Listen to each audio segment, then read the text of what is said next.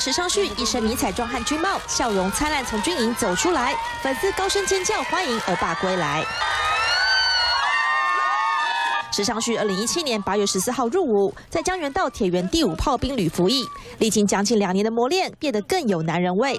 今天正式退伍见到粉丝，池昌旭感性的谢谢大家，但可能太久没有上节目，池昌旭紧张到说错话，害羞摇头懊恼。来看稍早画面。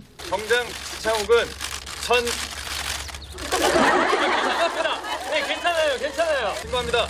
정장 지창욱은 2019년 4월 27일부로 현역을 명 받았습니다. 예, 신고합니다. 池昌旭说，退伍前一晚睡得很好，退伍后最想做的第一件事就是吃点好吃的。他的动向备受瞩目。根据了解，池昌旭在还没退伍前就已经接了 TVN 的新周末剧《请融化我》，将饰演冷冻人。目前也陆续接到其他的剧本邀约，将和经纪公司讨论，很快就会推出新作品和粉丝见面。